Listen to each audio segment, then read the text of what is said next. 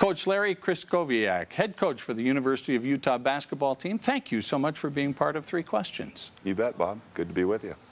You're coming off of a 23 and 12 season and the first appearance in the NIT finals in 44 years. You've been to the tournament since then, but uh, into the finals in 44 years. And uh, over the last seven years, this has been a huge turnaround of a program. Your first year, 6 and 25. Now you're at 25 and 12. What would you say is the key to that big turnaround in the program? Wow, it's really hard to identify one thing. I, you know, one of the, the sayings that we have in our program is just to keep chopping wood. And uh, I was asked when I was first hired, you know, the people are looking for the, uh, the barometer as to what's going to make it successful. And, uh, you know, you just, we had a lot to do, a lot of work to do that first year. I never had more fun in my life coaching a six win team. Uh, some great guys. We got it signed a lot of guys late that particular year, but they also didn't have a lot of stars behind their name. Uh, and they were really driven and hardworking kids. And then, you know, our recruiting, I think, picked up a little bit. You, great recruits, you know, when you can get a DeLon Wright and a Jakob Poeltl and a Kyle Kuzma, they make you a lot better coach. And at the end of the day, it, re- it really is the lifeblood of the program, I think, is in the recruiting. That first year, you had eight players leave the program after you came, and that must have been terribly frustrating for you. Uh, what I wonder is number one, how did you manage that frustration? And number two, how did you keep uh, from losing hope and the administration losing hope, and more importantly, the fans losing hope in University of Utah basketball? Well, it was interesting. Um, you know, when we when we signed all those young men late in the process, we sat down with each and every one of them and let them know that we're not signing a four-year scholarship. Uh, we have a, sign, second signing periods in April, and we ended up taking a lot of those kids in May. So they obviously didn't have many options, or they would have signed. Uh, and a lot of those individuals, we said, come to Utah. We're going to coach the heck out of you. You're going to be a part of a great conference and a great institution. But there's no guarantee when this is said and done that we're going to have this relationship, uh, you know, continue. And uh, and so we had the blessing of the administration, all those kids, their families, everybody was on the same page. I think it was a shock to the community because when the season ended and we talked to those individuals, it was time for them to move on. They weren't Pac 12 players, a lot of them. Uh, and I know all of them. We, we maintain great relationships with all of them. They've all landed on their feet. We stay in touch. Uh, it's disheartening to lose those guys, but we kind of needed to step it up in our recruiting efforts, and that's where we've gone. How much mentoring do you do? One on one mentoring with these players do you actually do? Yeah, I'm getting goosebumps when you ask that question. You know, I think that's probably uh, mentoring comes in a lot of different ways uh, behind the scenes in the office. Some kids maybe need a father figure. Uh, some kids come from a perfectly normal background, you know, the two-parent background, and you know, more of a coach. Um, but I, I love that part of it, and that's what's so cool about college basketball is is these kids are still looking, oftentimes, for that mentor or a difference maker in their life. And so if that can be on the basketball court, if it can be helping them get through some tough times, uh, whatever the case might be, those relationships are probably the most important thing. And that's the huge difference. People ask me all the time the difference between NBA and college and do you want to go back? And NBA people have already had those mentors and difference makers to help them get to that elite level. In college, uh, some of those relationships and, and just knowing, I've heard from guys and you know, when somebody sends you an email or calls you and reminds you of that, mm-hmm. uh, it's really, it's really priceless. Mm. You have a reputation of being very strict in the way you play basketball and, and the way you want the team to play basketball.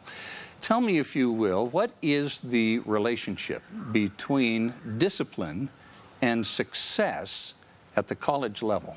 Mm, good question. I've heard about you in these questions. um, well, we, we have non-negotiables in our program, and and we make those very clear with uh, with our kids as we're recruiting them. You know, it's a little bit of a high standard. I, I love uh, coaching at Utah. I went to the Jazz game the other night. I mean, people understand the game. This is not one of those uh, states that you know basketball just kind of slips through the cracks. And I think Uh, there's been a lot of great coaches that have come before me at Utah. Uh, Coach Sloan, the Jazz, you know, and to me, uh, you want to be a team that nobody outworks you. And coaching effort is really hard, you know. So I think my job, our staff's job, is to is to help guys get through some barriers, make sure they can do a little bit more uh, than they're giving us. And to me, basketball is one of the ultimate sports, team sports, in terms of connectedness. Mm-hmm. Uh, very, it's very rare if you look at baseball, football, you have one job. You run out there and you're on offense or you're on defense. You're at the plate or you're in the field. Mm-hmm. Uh, the game of basketball, as you know and the viewers know, is constantly changing. So the ability, I think, to be a two-way player and be able to kind of flip the switch and get on to the next play, um, knowing those five guys are all, you know, a defensive scheme, an offensive set, whatever it is you're trying to do, to me, it's really a, a cohesive deal. And if, if you have a weak weakness in that chain, we always talk about, you know, you're only as strong as the weakest link. So some of that discipline, I think, comes from the importance in trying to help our players understand that uh, you know they owe it to their teammates. They owe it. You know, it's more than themselves. So. Um, I think that's where a lot of the discipline comes is trying to trying to play the game the right way, and and we certainly strive to do that. I don't think you'll find many people who won't say that discipline is a very important part of any game that you play in any athletic endeavor. But under the Coach K system, what does discipline look like specifically?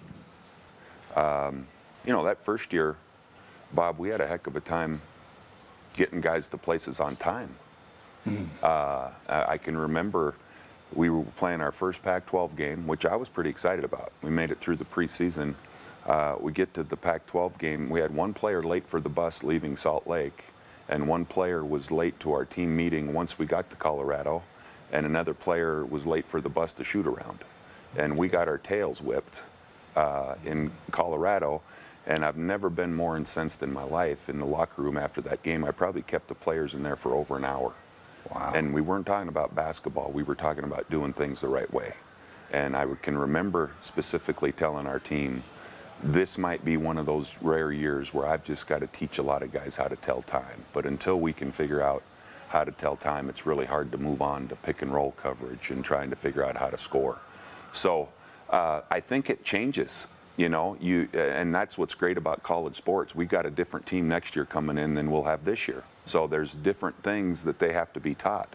Uh, I like where we're starting with all these guys, really solid cores and culture and background, but culture is a big part of it, and uh, that's a non-negotiable, you know. And so, if you get a, a coach or I'm sorry, a player-driven team maybe the year we went to the Sweet 16, a lot of those players had heard my speeches and they understood discipline, mm-hmm. and we were able to talk a heck of a lot more about how we were going to try to beat Duke to get to the Elite Eight. And that discipline is different than some of the basic discipline. So uh, it, it depends on the given year. Recruiting is so important in college basketball. What is it that you look for in a recruit that will fit into your system? Yeah, well, first off, you know. They uh, have to be able to tell time, right? They have to be able to tell time, and it's amazing what some kids still, what they don't know. But, um, you know, obvi- the first thing is we're pretty specific now. When we first got here, we needed a little bit of everything. We needed two guys at every position, yeah. right? So uh, it was a little vague. Now you, you have guys graduating, two bigs, uh, Justin Bibbins and Gabe, and you've got, you know, hey, we need a point guard, we need a two, two guard, we need a small forward. Um, and then, you know, over time, it's no different than your job. You learn things. Uh, and, and, probably more than anything, I've learned to uh, trust my own intuition mm-hmm. when you have a little voice in your head talking to you about, and you look back on maybe how it didn't work out with a certain kid here, and you saw those signs early, mm-hmm. but you didn't listen to them. Mm-hmm. Uh, and then maybe the flip side of that, a kid like Brandon Taylor, that um, I tried to talk myself out of, you know dozens of times. And his number kept popping up on my desk, or I kept thinking about what an amazing person he was.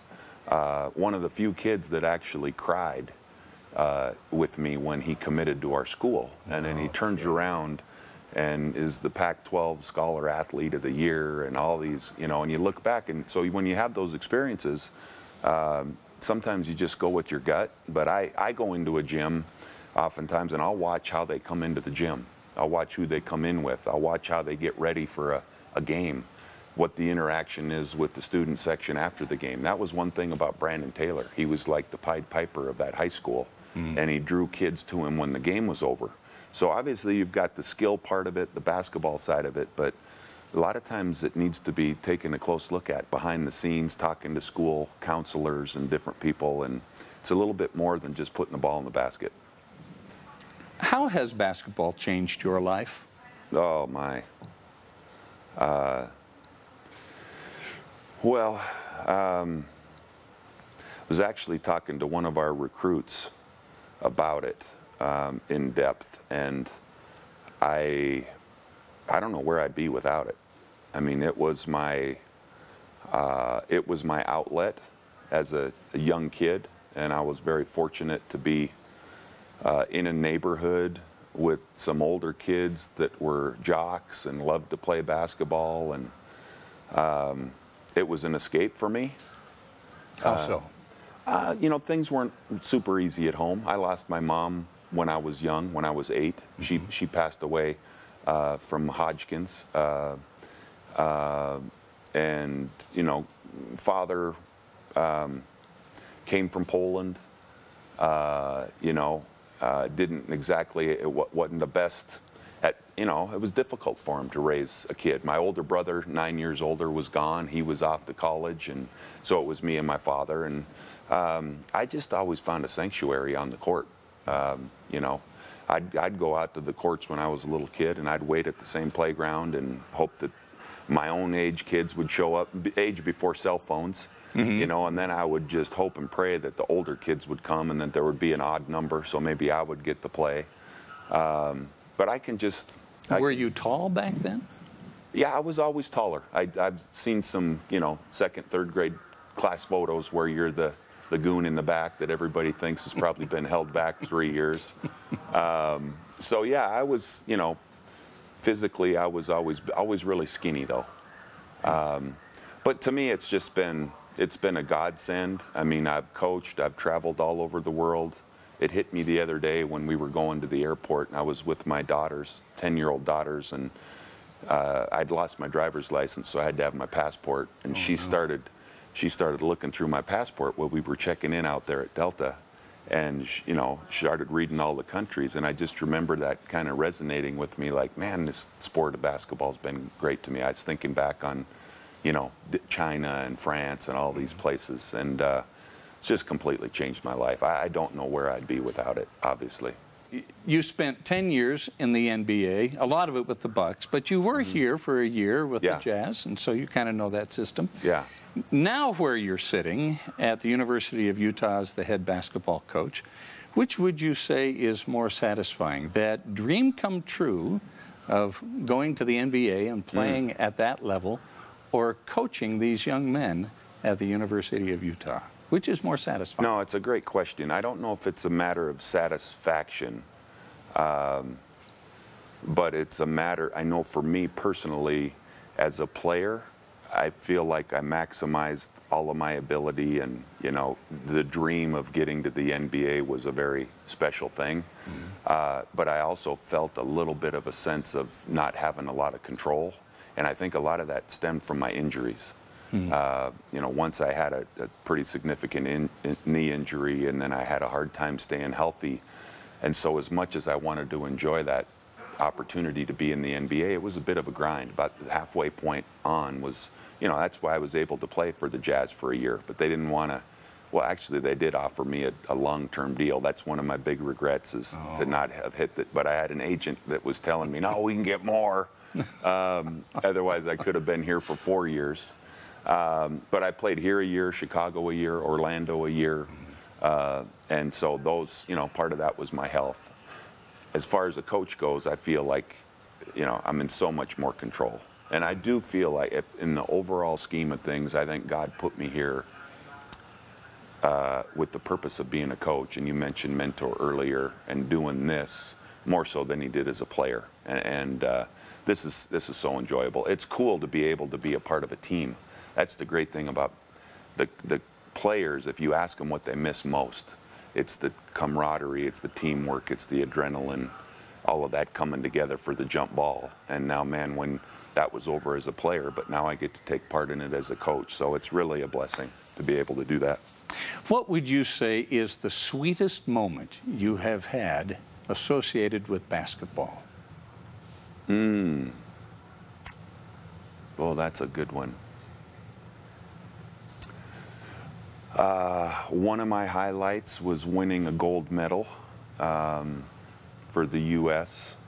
Actually, to take it a step back prior to that, uh, went to the sports festival when I was 18 with 48 other guys from the United States. Mm-hmm. Um, Where was that? That was in uh, Colorado Springs. Okay.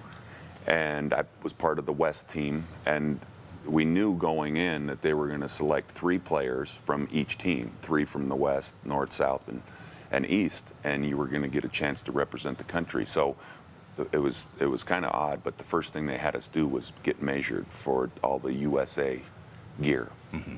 And I can remember being in that room, and uh, you talk about you know a kid that's just dreaming about the opportunity to wear a United States jersey, and uh, so when when I got that phone call about a month after that event, that was one of those moments where I just you know it's to the moon, like you get to go do this. uh, and then the practice with some great players.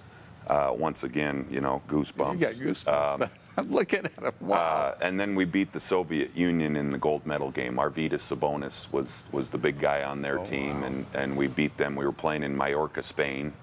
Uh, and, you know, hearing the national anthem, uh, standing there with your teammates was one of those big highlights. Wow. Um, one of the others, undoubtedly, was making the Sweet 16 with the Utes. That was really cool. Um, beating Georgetown and getting an opportunity to do that. And you get a little taste of that, man. And it's, you know, the Duke game was one of those examples where it's the perfect uh, statement comes into play that you, you, you, know, you feel so close to something yet so far away. Mm-hmm. Uh, and we played Duke as well as anybody did that year. You know, if you look at their six games to the national championship, so you wonder maybe if the bracket would have been a little different, mm. or, or Delon doesn't get in foul trouble. But yeah. you get a taste of what that was a highlight. That was a highlight. What would you say is the state of college basketball right now? Mm-hmm. There have been some scandals. Yeah, you think? uh, well, it's. I don't think any of us are real proud um, of it, you know, and um, I think things have gotten a little out of out of whack. The longer time has gone on with all these rules, and you know, obviously there's an awful lot of money involved in every capacity, uh, and when money gets involved, um, you know, things tend to head over the line a little bit, and um, so it's been rough and uh, disheartening. I think is a good word for us, you know, and the whole season's gone by and not much been mentioned. And so when you're trying to stay within the lines, you, you know that you, the human nature of it is if, sure. if you're trying to do the right thing and maybe other people aren't, you'd like to see them get put in a timeout, you know? yeah, in the penalty box Instead of having to play them, yeah. you know? So yeah. uh, I think all that's going to come about. Um, but it gets back, I had a, a, a great booster come in and he actually coached me up um, you know, gave me some some tips. And I think the key is is you don't you don't make yourself a victim. You know, and I got I was a little whiny when it was all happening, and we don't cheat, and you try to put yourself above it. Yeah. And his lesson to me, which uh, which really took hold, was eh, whatever you're doing, there's going to be immoral people that cross the line and do things. And if you want to spend your time thinking about, you know, what they're doing, obviously you're taking a lot of the energy away from the job that you have. And right. so I, you got to steer away from it and get focused back onto what we're doing at Utah and, and the kids that we have in the program and trying to do things the right way. And, and you hope that at some point, um, you know, they are going to get put in that penalty box. Yeah. There is a debate going on right now in this country. Uh, should college athletes be paid? I don't think so. Uh, personally, I don't think so. Why not? Well, I think they are being paid.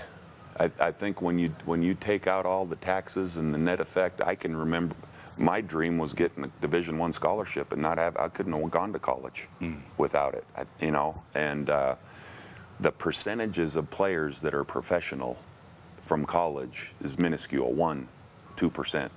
So the the masses, and I, I get the argument. Well, the NCAA is making all this money; you should give it back. I, I'm not going to buy into that.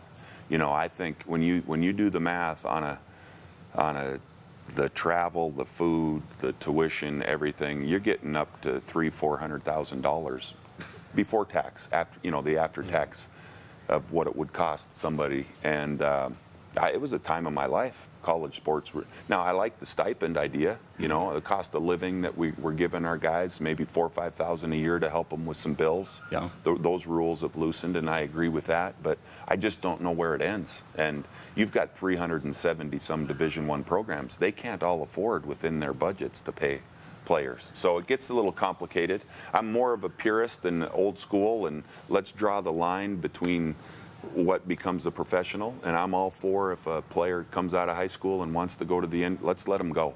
And I hope they abolish the, the one and done. Uh, I think that's been bad for every party involved. I think it's bad for the kids that are involved with it because they don't learn what college is like. Right. And I think it's bad for the sport. I, I don't think it's helped the NBA. You know, we were a one year farm system basically for them, and I think they could use a longer period of time. So get ready, hopefully they can abolish that. I think we're right on the on the cusp of that hap- happening. You've got Kyle Kuzma, Jakob Poeltl, Andre Miller, Michael Doleac, Andrew Bogut, DeLon Wright, all in the NBA who came through the Ute program. Yeah, awesome. How important is it for Ute players to make it to the NBA? How important is that for the overall program? Well, well, it's it's super important because it's part of. Uh, you, you want to have that in on, you know, on the resume.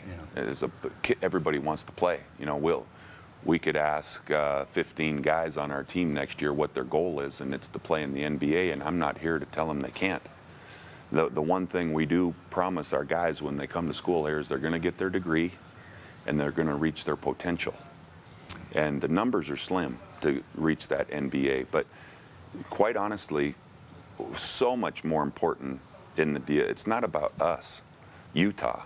It's it's being able to see DeLon and Jakob and Kyle now knowing that they reached their potential and the pinnacle of the whole thing. To me, that's to know where those three came from. Mm. And I can remember being at lunch in Vienna, Austria with Jakob and asking him what his goal was. And he said NBA. And I just remember thinking, man, good luck with that, you know? And DeLon is the same way, and Kuz is the same way. Right, yeah. But you do whatever you can to, you push them every day. You chop wood, you get a little bit better. You don't talk a lot about it, because if you're talking a lot about it, it probably means you're not doing not what doing you, it. You're Yeah. not doing it. Yeah. Uh, and all the experiences I've had, the guys that are there are the guys that are doing it. And that's one thing all three of those guys got, their, their work ethic. Um, but you know, we had all three of them come back for the football game and got introduced, and to me, that's um, that was pretty special. You know, when when you know you had a little part in it. Obviously, the fans can watch those guys now. Toronto's success in the playoffs and Kuzma's success, so um, it makes it it makes it pretty darn special. Let's talk about BYU for just a moment. Uh, it's been a while since that dust up, and uh, and you had that cooling off period. Now you're back playing the, the Cougars again. Did that cooling off period actually help the relationship between the two schools? Oh, I don't think so. I, I you know, to be frank, I don't think it was long enough. Um, you know, and the powers that be got us reacquainted a little earlier than I would have liked to have. But, you know, who am I to say? Um, You're just the head coach, that's all. yeah, you know, and it was a big deal. Obviously, it was a big deal, and um, uh, I wouldn't have done it. I, you know, looking back on it, I wouldn't change anything. The only, the only regret I have is um, I, I absolutely love who I worked for, Dr. Hill, and I think it was hard on him Yeah. uh, because I think he, he, you know, compromised and um, you know thought he didn't have any control and how dare you and I was so fortunate to have somebody that I had a great working relationship and he believed in what I was saying. Um, so I, I know that that was hard on him. That's the one thing I'd like to take back, but um, it wasn't long enough, and you know we're back at it now. So I'm gonna try to focus on the things I can control once again. in rivalry games, the, the intensity, especially leading up to it, is so strong. There's so much drama, there's so much distraction, and then there are the risks involved.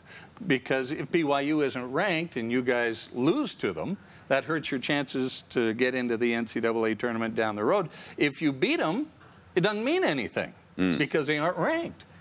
Why even play BYU? Well, that's kind of was what, what I was thinking. you know, again, it's not my idea.